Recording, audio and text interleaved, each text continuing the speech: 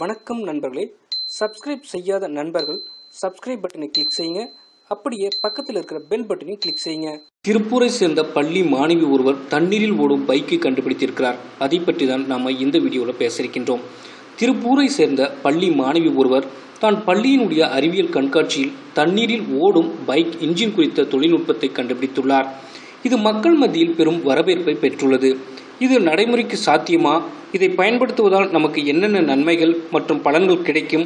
என்னென்ன தீமைகள் மற்றும் ஆபத்துகள் இருக்கின்ற பற்றி தான் பேச இருக்கின்றோம் அதாவது திருப்பூரை சேர்ந்த பத்தாம் வகுப்பு பள்ளி மாணவி யோகிதா. அவரது குடும்பம் மிகவும் ஏழ்மையான குடும்பம். இருந்தாலும் கூட அவர் வந்து தன்னுடைய படிப்பை வந்து தொடர்ந்து படித்து கொண்டிருந்தார். இவருக்கு அறிவியல் பாடம் என்றால் மிகவும் விருப்பம். அதை விரும்பி படித்து வருகிறார். அப்பொழுது அவரது பள்ளியில் அறிவியல் கண்காட்சிக்கான அறிவிப்பு வந்துள்ளது. அதில் எதையாவது புதிதாக செய்ய வேண்டும் என தன் மனதில் ப- வைத்திருக்கிறார். இந்த நிலையில் அவரது வீட்டில் மாதக்கணக்கு குறித்த பேச்சு எழுந்தபோது அவரது அப்பாவினுடைய பைக்கிற்கு பெட்ரோல் போட வழக்கத்தை விட செலவு அதிகமாக இருக்கிறது என்று பேசியிருக்கிறார்கள். இதை நினைத்த யோகிதாவின் அம்மா புலம்பிக் கொண்டு இருந்தார். அப்பொழுது அவர் பைக் தண்ணீரில் ஓடினால் நன்றாக இருக்கும். ஆனால் அதற்கு அதற்கு தான் வாய்ப்பே இல்லையே என சலித்துக் கொண்டார். இதை கேட்டுக்கொண்டிருந்த யோகிதாவிற்கு சட்டென்று ஒரு யோசனை தோன்றியது. தண்ணீர் என்பது ஹைட்ரஜன் மற்றும் ஆக்சிஜன் ஆகிய மூலக்கூறுகளால் இணைந்ததுதான். ஹைட்ரஜனை எரிபொருளாக பயன்படுத்த முடியும் என்பதை அவர் படித்திருக்கிறார். தண்ணீரில் இருந்த ஹைட்ரஜனை மட்டும் பிரித்து எடுத்தால் போதுமே அதை வைத்து வாகனத்தை இயக்க வைக்கலாம் என யோசித்திருக்கிறார் யோகிதா.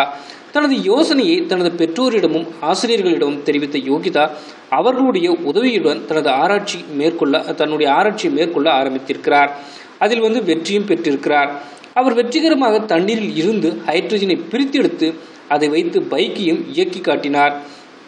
இவர் தனது தந்தையினுடைய பைக்கிலேயே ஹைட்ரஜனை செலுத்தி பைக்கை ஸ்டார்ட் செய்தார். அது எப்பொழுதும் போல் எந்தவித பிரச்சனையும் இல்லாமல் இயங்கியது. இதையே அறிவியல் கண்காட்சியில் காட்சிப்படுத்தி அவர் பரிசும் பெற்றார். இதையடுத்து அவருடைய கண்டுபிடிப்பு வெளியுலகத்திற்கு வந்தது. இது குறித்து அவர் என்ன சொல்லியிருக்கிறார் என்றால் இதை மக்கள் பயன்பாட்டிற்கு கொண்டு வர முயற்சிகள் செய்ய வேண்டும் என்று அவர் தெரிவித்திருக்கிறார். அதாவது யோகிதாவினுடைய இந்த கண்டுபிடிப்பு நிச்சயம் பாராட்டிற்கு உரியதே.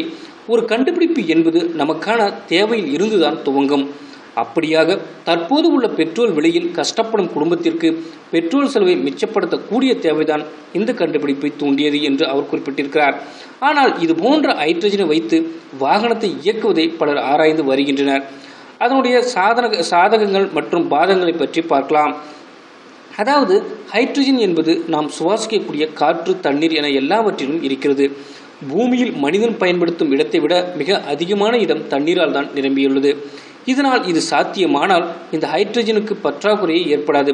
பெட்ரோல் நிலக்கரி ஆகியன என்று என்று தீரும் என்று நமக்கு தெரியாது என்பது மிகவும் குறிப்பிடத்தக்கது. அதே மாதிரி ஹைட்ரஜன் வந்து எரிபொருளாக பயன்பட்டால் அதனால் சுற்றுப்புறத்திற்கு எந்தவித மாசும் ஏற்படாது. மேலும் விமானங்களில் விண்வெளிகளில் தண்ணீர் தேவைக்காக இந்த ஹைட்ரஜன் தான் பயன்படுத்தப்படுகின்றன என்பது குறிப்பிடத்தக்கது. இந்த ஹைட்ரஜன் என்பது மனிதர்களினுடைய உடல் நலத்திற்கு எந்த விதத்திலும் தீங்கு விளைவிக்காதது இதனால் சாதாரண மனிதர் கூட இதை எளிமையாக கையாளலாம். அதில் ஏதேனும் தவறுகள் நடந்தால் கூட ஒரு பெரிய அளவிலான விபத்துகள் எதுவும் நடந்து விடாது. இதை தைரியமான யார் வேண்டுமானாலும் பயன்படுத்தலாம். அதே மாதிரி மற்ற எரிபொருட்களை விட ஹைட்ரஜன் அதிக திறன் வாய்ந்தது. மற்ற எரிபொருட்கள் எவ்வளவு சக்தியை வெளிப்படுத்துமோ அதை விட அதிக சக்தியை ஹைட்ரஜன் வெளிப்படுத்தும். அது மட்டுமில்லாமல் இந்த ஹைட்ரஜனை வந்து பயன்படுத்தின பயன்படுத்துவதால் என்னென்ன பாதகங்கள் இருக்குது என்பதையும் பார்க்கலாம். அடுத்ததாக வந்து பார்த்தீங்க அப்படின்னா இந்த ஹைட்ரஜனை பயன்படுத்துவதால் என்னென்ன பாதகங்கள் இருக்கும் என்பதை பார்க்கலாம். அதாவது எலக்ட்ரோலிசிஸ் மற்றும் ஸ்டீம் ரிஃபார்மேஷன் ஆகிய முறைதான் வந்து ஹைட்ரஜனை பிரித்தெடுக்கும் முக்கிய முறைகள். இதை பயன்படுத்தி தான் வந்து நம்ம ஹைட்ரஜனை வந்து பிரித்தெடுக்க முடியும். ஆனால் இதுக்கு வந்து மிக முக்கியமான ஒரு விஷயம் என்னென்னா அதிகமாக வந்து செலவாகும். அந்த செலவை கணக்கிடும் போது நாம் வந்து பெட்ரோலையே போட்டு விடலாம். அந்த அளவுக்கு வந்து அதனை வந்து பிரித்தெடுப்பதற்கான செலவுகள் வந்து அதிகமாகும். அதே மாதிரி ஹைட்ரஜன் என்பது வந்து பார்த்தீங்க அப்படின்னா எடை குறைந்த வாயு. இதை வந்து சேமித்து வைக்க வேண்டும் என்றால் இதை நீர் வடிவமாக மாற்றி இதை ஒரு குறிப்பிட்ட ஒரு டெம்பரேச்சரில் ஒரு குறிப்பிட்ட ஒரு டெம்பரேச்சரில் தான் வந்து நம்ம வைத்திருக்க வேண்டும். அப்பொழுதுதான் அதனுடைய சக்தி குறையாமல் இருக்கும். இல்லாவிட்டால் பார்த்தீங்க அப்படின்னா நமக்கு தேவையான சக்தி வந்து அதிலிருந்து நமக்கு கிடைக்காது. அதே மாதிரி இப்போ வந்து பார்த்தீங்க அப்படின்னா ஹைட்ரஜன் மற்ற எரிபொருளை காட்டிலும் எளிதில் தீப்பற்றக்கூடியது. அது மட்டும் இல்லாமல் இது வந்து வாசம் இல்லாதது. இதனால் வந்து இந்த ஹைட்ரஜனில் லீக் ஏற்பட்டாலும் கூட எளிதாக நம்மால் கண்டுபிடிக்க முடியாது. அதனால் வந்து இதை பயன்படுத்துவதில் பெரும் ஆபத்தும் இருக்கிறது. ஆனால் லீக் ஆகிறத வந்து கண்டுபிடிக்க தற்போது சென்சார்கள் வந்து விட்டது என்பது குறிப்பிடத்தக்கது. அதே மாதிரி மற்ற எரிபொருளைப் போல ஹைட்ரஜனை வந்து மொத்தமாக கொண்டு செல்ல முடியாது. சிறிது சிறிதாகத்தான் எடுத்து செல்ல முடியும். அது மிகப்பெரிய குறைபாடு. அதாவது வாகனத்தை வந்து ஹைட்ரஜனை வாகனத்தில் வந்து ஹைட்ரஜனை எடுத்து சென்றாலும் கூட போதுமான அளவிற்கு எடுத்து செல்ல முடியாது. அவ்வப்போது ஹைட்ரஜன் நிரப்ப வேண்டிய சூழ்நிலை வந்து அடிக்கடி ஏற்படும். இவ்வாறு வந்து பார்த்தீங்க அப்படின்னா சில சிறப்பு அம்சங்கள் இந்த ஹைட்ரஜனுக்கு இருந்தாலும் கூட அதில் உள்ள ஆபத்துகளும் வந்து இது போன்ற இருக்கின்றன. அது மட்டும் இல்லாமல் இதில் வந்து பல சிக்கல்களும் அதிகமாக உள்ளன. வரும் காலத்தில் கண்டுபிடிக்கப்படும் தொழில்நுட்பம் இந்த ஆபத்துகளை தவிர்க்குமாயின் ஹைட்ரஜனை எரிபொருளாக பயன்படுத்துவது என்பது நிச்சயமாக சாத்தியம்தான். நன்றி. தமிழ் டேட்டா சேனலை பார்த்தமைக்கு நன்றி. சப்ஸ்கிரைப் பண்ணுங்க லைக் பண்ணுங்க ஷேர் பண்ணுங்க.